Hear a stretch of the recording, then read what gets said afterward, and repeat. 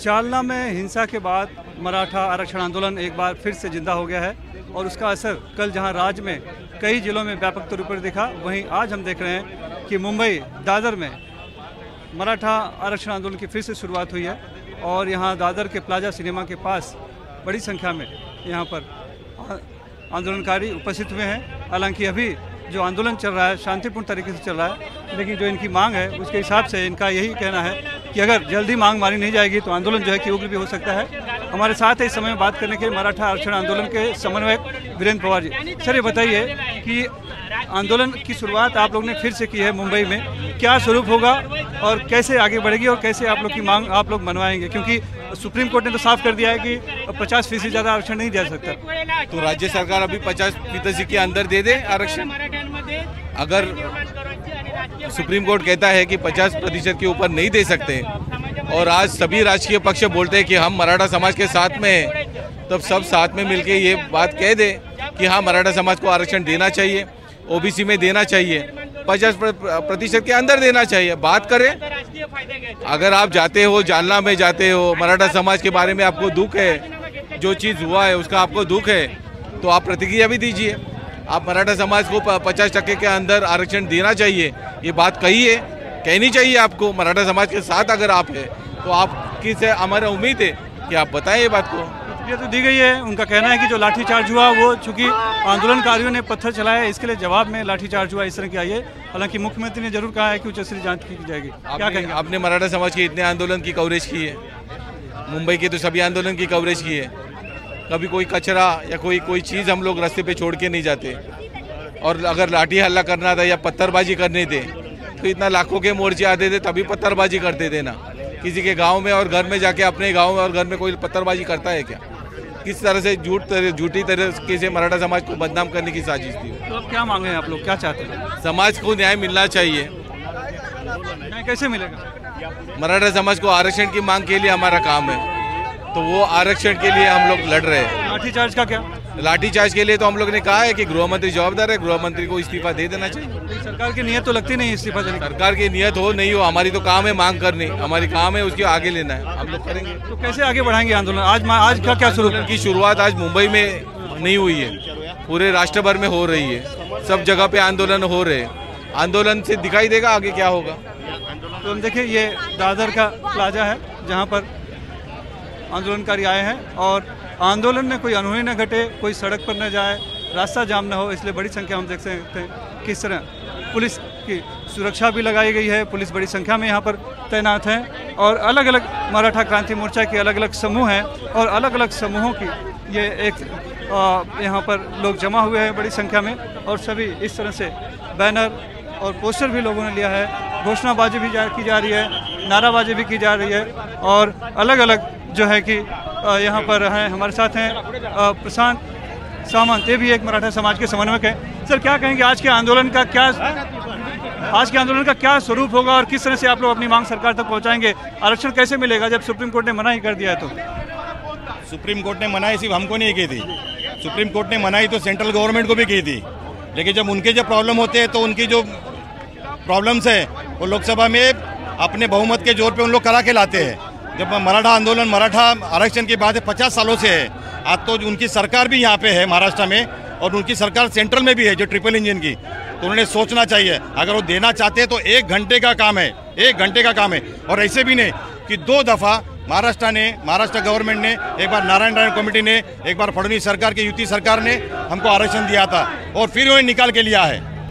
और हमारे समाज को उसका लाभ भी मिला था लेकिन इनको जो उनकी राजनीति खेलनी है इनकी राजनीति खेलनी है ये ये प्लान किया हुआ कार्यक्रम है ये। आज जो आंदोलन करता कर्ताओं पे जो लाठीचार्ज किया है हमारे महिलाओं के सर फोड़े गए ये प्लान किया गया है। प्लान कैसे कह सकते हैं? प्लान कैसे कह सकते हैं?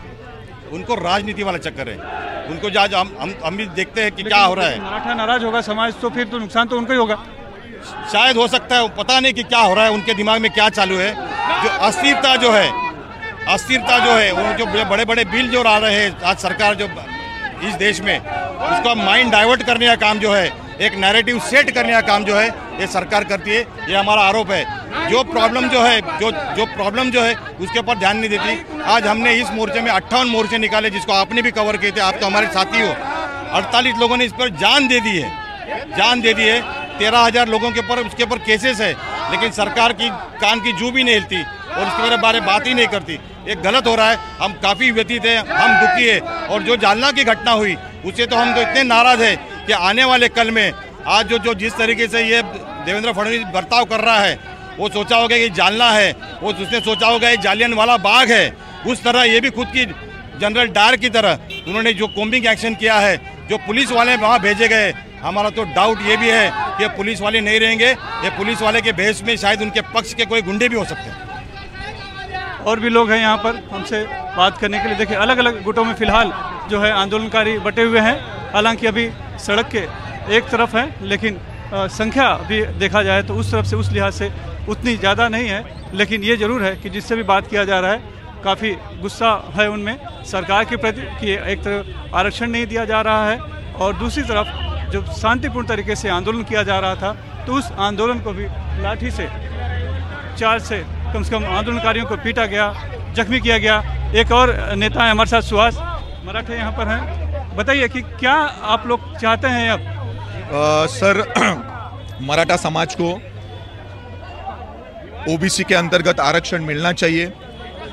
इस आरक्षण के मांग के लिए जालना में, एक छोटे से कस्बे में कई दिनों से हमारे जरांगे पाटिल जो थे, ये आंदोलन कर रहे थे।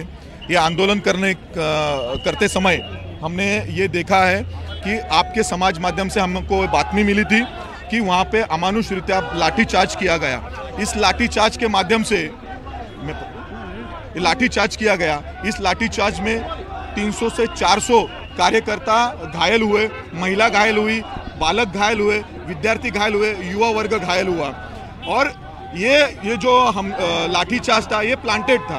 ये देवेंद्र फडणवीस साहब ने और ये उनके जो, उनके हाथ में जो गृह गृह मंत्रालय है, वो गृह मंत्रालय की ताकत इन्होंने वापरी है। और उस, ये आंदोलन, जो शांततापूर्ण आंदोलन हो रहा था, उसको बहकाने का काम किया है।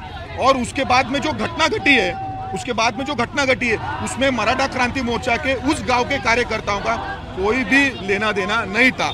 इसलिए ये घटना का हम निषेध करते हैं, और जब तक फडणवीस साहब अपनी नैतिकता ले देखते हुए राजीनामा देते नहीं है, तब तक हम लोग ये आंदोलन ऐसे ही शुरू रखेंगे।